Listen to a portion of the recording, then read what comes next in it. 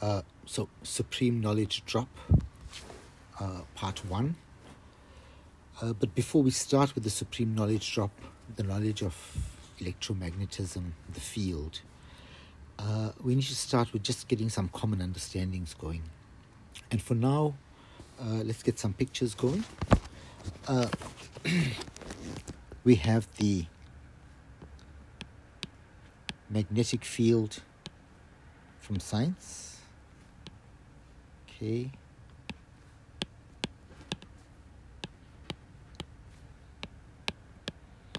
We have um, the electromagnetic field.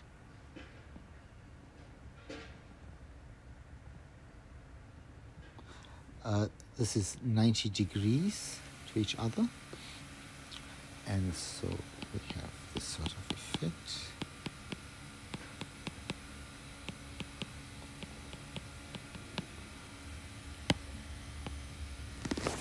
this one's a bit more vertical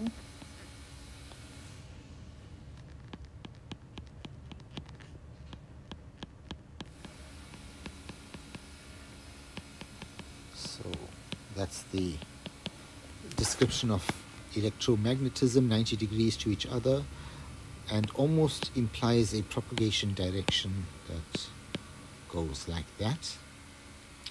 Then we have um, knowledge of light, which is that light exits a point like so. And we also know, let's make it a little smaller light exits a point in straight lines. And we also know that light is part of the of EM spectrum. Okay, so so if this is light, then there's magnetism, there's electromagnetism, and uh, we've not really fully tied all this together. Oh, we've also got Steinmetz. So Steinmetz is the next one. Steinmetz put together a view like this that said if you consider a this is a piece of copper wire, so we're going to color that in. Now you're looking the piece of copper wire down the eye, and this is uh, carrying electricity at the moment. So what you would notice in this when you look down the wire, you will see two fields. You will see A, a magnetic field,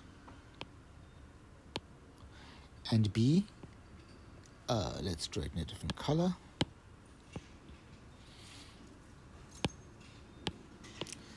A radiative or dielectric field. Now, actually, let's remove those lines. He didn't have lines, he just had that. So this is more or less where we are. As you can see from this, not really a unified view. We also have things like wave particle duality. And this happens when, let's see if we can draw it. I wonder if I can draw it. Uh, wave particle duality, plus we have photons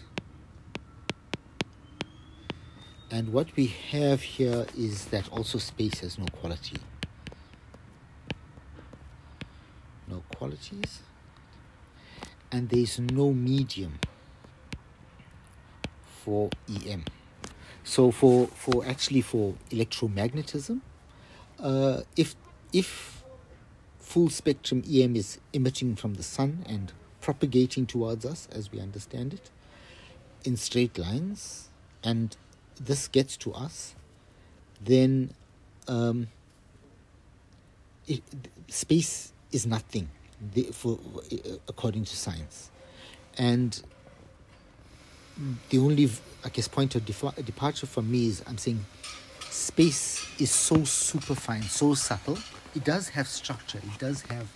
Uh, it has an obvious shape. It has to have that shape. Uh, and w- once you understand it and embrace it, everything else makes much more sense. So, for now, this is lesson one. and this we're going to call it a recap, recap of where we are. Let me stop recording. We'll do the second recording immediately.